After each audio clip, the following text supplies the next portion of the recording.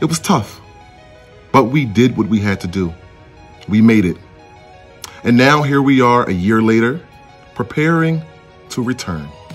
We had to remain innovative to make sure every single student had access to the same great instruction, just as if they were in the building.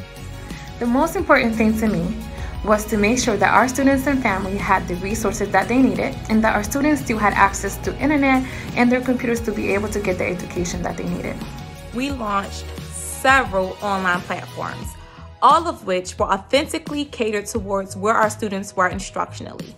When I look back on this first year, I look at it as very transformative. Everything pretty much about how we met the needs of our families and students can change, but they changed positively.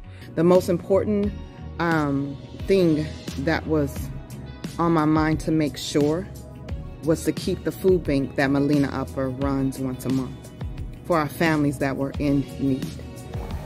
This past year has been so sad, scary, and lonely for so many of us. And it was really hard to not be able to celebrate student successes at the end of the school year in 2020. We built community. We reassured our parents and our families that we were here for them. And that truly is the most important thing.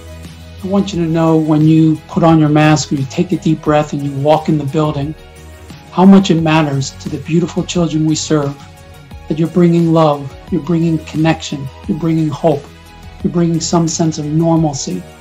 And it takes courage on your part, it takes courage on their part to show up. The health and safety of our students, staff, and their families is our number one priority. We've made numerous upgrades to our buildings and daily procedures, such as PPE, temperature checks, weekly COVID testing, and brand new ventilation systems.